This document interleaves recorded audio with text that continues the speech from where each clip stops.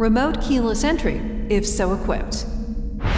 It is possible to lock and unlock all doors, including the back door, using your key fob from outside the vehicle at a distance of up to 33 feet. To lock doors, press the lock button on the key fob.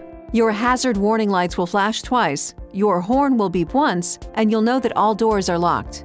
To unlock the doors, press the unlock button. The hazard warning lights will flash, and the driver's door will unlock. Press again within 5 seconds to unlock all doors, including the back doors. When the unlock button on the key fob is pressed, all doors will automatically relock within one minute unless any door or the back door is opened or the ignition switch is placed in the on position.